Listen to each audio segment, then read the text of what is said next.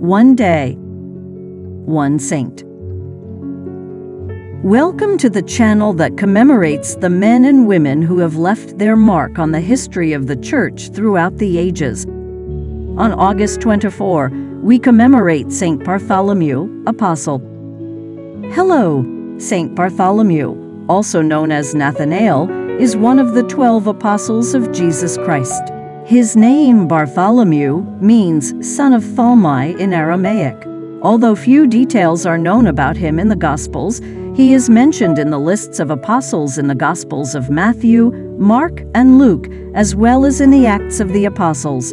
According to the Gospel of John, he is identified as Nathanael, a man in whom there is no deceit.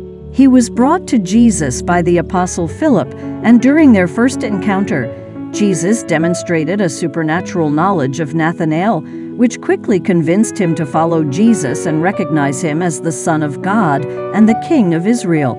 After Pentecost, Bartholomew is said to have preached the gospel in various regions, including India, Armenia, Arabia, and Mesopotamia. According to tradition, he was martyred in Armenia by being flayed alive and then beheaded for his faith. He is often depicted holding a knife the instrument of his martyrdom, and sometimes holding his own skin.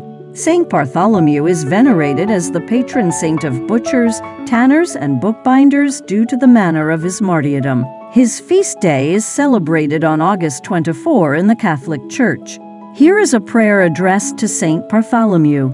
O glorious Saint Bartholomew, faithful apostle of Jesus Christ, you answered the Lord's call with an open heart and sacrificed everything to proclaim the gospel.